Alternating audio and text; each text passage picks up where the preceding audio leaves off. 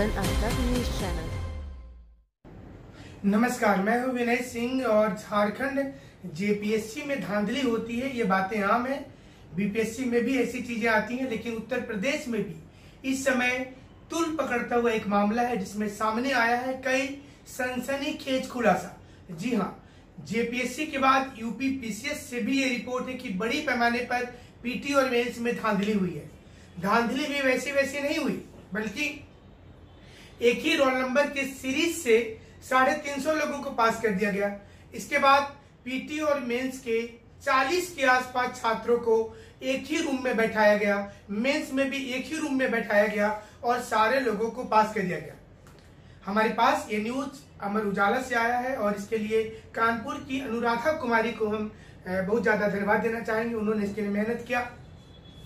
आपको बता दें कि इस समय पीसीएस उत्तर प्रदेश में, यानी कि सारी स्थिति अब वहाँ पर भी तुल पकड़ लिया।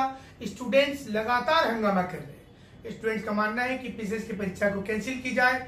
अविलंब इसमें गिरफ्तारी हो। क्या सारे पीसीएस का ही हाल है?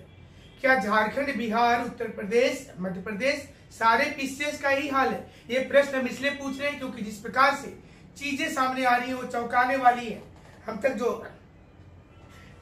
जो हमारे पास न्यूज़ आई है, इसके मुताबिक पीसीएस 2018 का मुख्य परीक्षा का परिणाम जारी हुआ था और इसमें अभ्यर्थियों का आरोप है कि एक ही कमरे में साथ बैठकर आठ अभ्यर्थी पहले ही प्रारंभिक परीक्षा में सफल हो गए इसके बाद मुख्य परीक्षा में भी इन्हें एक ही साथ बैठा दिया गया।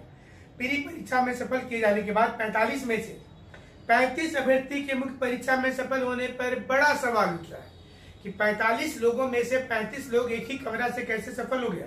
और ये समय सबसे तुल पकड़ता हुआ मामला है। और ज़ाहिर सी चीज़ है कि इसके बाद पूरे उत्तर प्रदेश में राजनीति उफान पर है। अभ्यर्थियों ने कहा है कि मुख्य परीक्षा में गड़बड़ी हुई है। इनका यह भी कहना है कि रोल नंबर की एक श्रृंखला में 378 अभ्यर्थी में से 35 लोग एक साथ आखिर कैसे पास कर गए?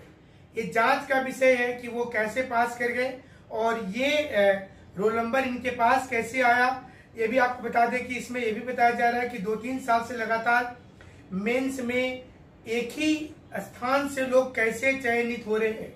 इस बार मेरिट से उन्हें बाहर कर दिया गया है और ये सारी चीज़ें उत्तर प्रदेश के लोक सेवा आयोग में आई है। हम आपको ये बता दें कि क्वेश्चन यहाँ पर साफ़ है कि क्या उत्तर प्रदेश के पीसीएस, जो कलेक्टेरिएट सर्विस है, क्या उसमें भी बड़े पैमाने पर धांधली हुई है?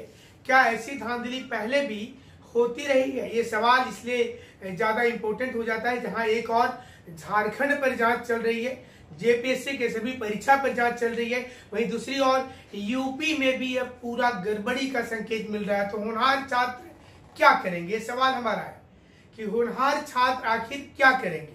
क्या वो इसी प्रकार से गड़बड़ी देखते रहेंगे? और कभी कभार अगर मीडिया में खबर आ जाएगी, तब जाकर के वो आंदोलन करेंगे। क्या इसके पहले भी ऐसी चीज़ें होती थी। ये सवाल इसलिए इम्पोर्टेंट हो चुका है क्योंकि मेरिटोरियस स्टूडेंट का सिलेक्शन लगभग न के बराबर हो रहा है। पाँच से दस परसेंट ही हो पाता है मेरिटोरियस का।